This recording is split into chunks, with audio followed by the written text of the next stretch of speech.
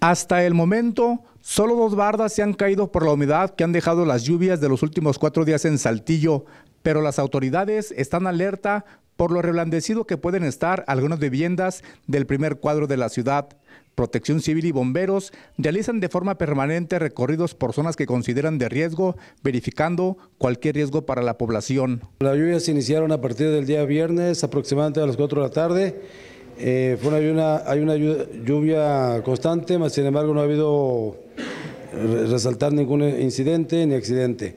Únicamente el día mm, sábado se cayó una barda en las calles de Juárez, frente al número 264, entre mm, la llave y mm, Fragua. Es una, una barda perimetral, la cual no ofreció ningún riesgo por parte del personal de protección civil. Se pusieron acordonamientos y se evitó el riesgo.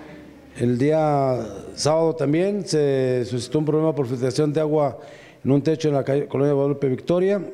Eh, al caer los pedazos de, de concreto le pegaron a una persona en la frente y se le hicieron una sutura de dos puntos únicamente.